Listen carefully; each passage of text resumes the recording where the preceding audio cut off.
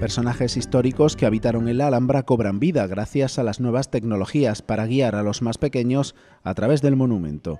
La empresa granadina Granavisión ha desarrollado una nueva audioguía que trabaja con realidad aumentada y que va dirigida a niños de 6 a 12 años. Una aventura gráfica, es videojuego, es cuento, es historia, es diversión. La Alhambra, el Castillo Rojo, arranca con un cuento que mete a los niños en la historia y los hace partícipes de ella. Que el niño pasa de ser como un espectador a que pasa a formar parte directa de la historia, ¿no? que pasa a ser un héroe dentro de la historia. A través de juegos y de personajes como Moraima, Boabdil y Carlos V, los pequeños conocen los rincones del monumento y lo hacen de una forma lúdica, encontrando, por ejemplo, las llaves que oculta la Alhambra.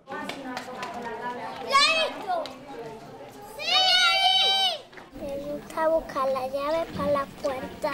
El personaje que más me gusta es Carlos V.